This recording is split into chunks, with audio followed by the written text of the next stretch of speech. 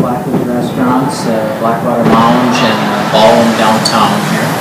Uh, We've been in business uh, with one location since uh, 1994. Uh, This particular location's been here since 97.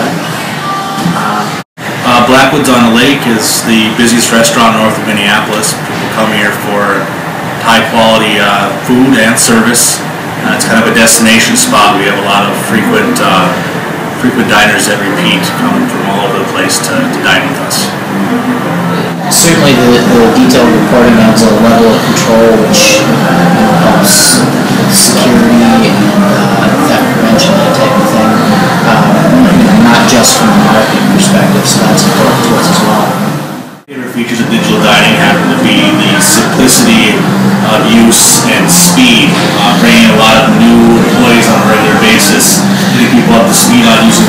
computer system, uh, having it be as simple and easy to lay out as digital dining is makes it very easy. Uh, I also appreciate the detailed reporting uh, that we can look at, which allows us to really detail and dissect uh, every aspect of our business, from discounting to uh, individual server sales, and everything else that goes along with the restaurant.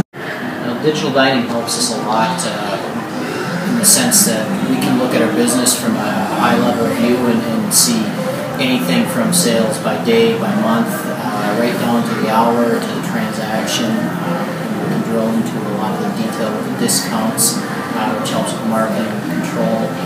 Um, you know, certainly uh, on the marketing side of things, the features like the frequent diner program have, enabled us to increase our repeat business, and uh, the, the addition of the gift card program is also powerful connecting us with the community, uh, saving some money, not having to use an outside vendor.